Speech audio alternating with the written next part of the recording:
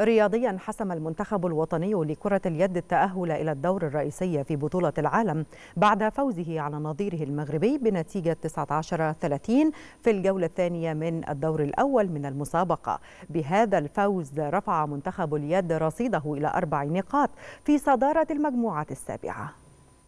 بعد أداء استثنائي حسم المنتخب الوطني لكرة اليد التأهل إلى الدور الرئيسي في بطولة العالم المقامة في السويد وبولندا. وذلك بعد فوزه على نظيره المغربي بنتيجة 30 هدفا مقابل 19 في الجولة الثانية من الدور الأول من المسابقة. وأنهى المنتخب الوطني الشوط الأول بالتفوق على المغربي بثلاثة عشر هدفا مقابل تسعة. ومع بداية الشوط الثاني ظل الوضع كما هو عليه لينهي فريق المدرب الإسباني روبرتو باروندو اللقاء بفارق 11 هدفا بعدما وصلت النتيجة إلى 30 هدفا مقابل 19 بهذا الفوز رفع المنتخب الوطني رصيده إلى أربع نقاط في صدارة المجموعة السابعة حيث يحتاج إلى الفوز على الولايات المتحدة في الجولة القادمة لضمان الصدارة والوصول لدور المجموعات الثاني بالنقاط الكاملة. وتتأهل أول ثلاثة منتخبات من كل مجموعة للدور الثاني والذي يلعب أيضا بنظام دور المجموعات حيث ستلتحم المنتخبات المتأهلة من المجموعة الثامنة والتي تضم كل من تونس والدنمارك وبلجيكا والبحرين مع المنتخبات المتأهلة من المجموعة السابعة التي تتصدرها مصر.